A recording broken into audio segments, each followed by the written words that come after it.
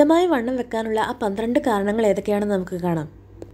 അമിതമായ മാനസിക സമ്മർദ്ദം നമ്മളിലെ കോർട്ടിസോൺ ഹോർമോണിന്റെ അളവ് കൂട്ടുകയും ഇത് വിശപ്പ് വർദ്ധിപ്പിക്കുകയും ചെയ്യുന്നു. അങ്ങനെ നമ്മുടെ ശരീരഭാരം വർദ്ധിക്കാനിടയാകുന്നു. രണ്ടാമതായി ഉറക്കക്കുറവ്. മൊത്തത്തിലുള്ള ആരോഗ്യത്തിനും ക്ഷേമത്തിനും ഉറക്കം അത്യാവശ്യമാണ്. അപര്യാപ്തമായ ഉറക്കം മറ്റ് ആരോഗ്യ പ്രശ്നങ്ങൾക്കൊപ്പം ശരീരഭാരം വർദ്ധിപ്പിക്കുന്നു. മൂന്നാമതായി വിഷാദം. വിഷാദം ഈ മാനസികാവസ്ഥ ശരീരഭാരം പൊടത്തടി എന്നിവയുമായി ബന്ധപ്പെട്ടിരിക്കുന്നു.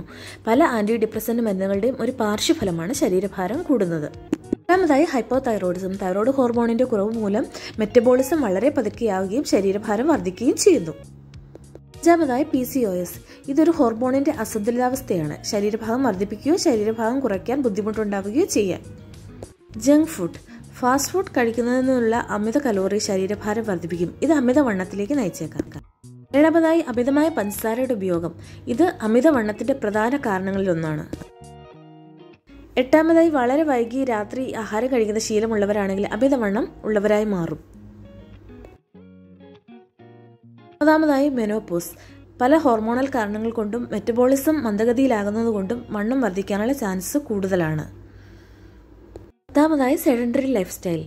W H O പറയുന്നതനുസരിച്ച് ഇരിക്കുക നിൽക്കുക വായിക്കുക ലാപ്ടോപ്പിൽ ജോലി ചെയ്യുക വീട്ടു ജോലികൾ ചെയ്യുക ഇങ്ങനെ ചെറിയ ചെറിയ ജോലികൾ ചെയ്യുന്നവരിൽ വളരെയധികം പെട്ടെന്ന് ഭാരം കൂടാനായിട്ട് ഇടയാകും.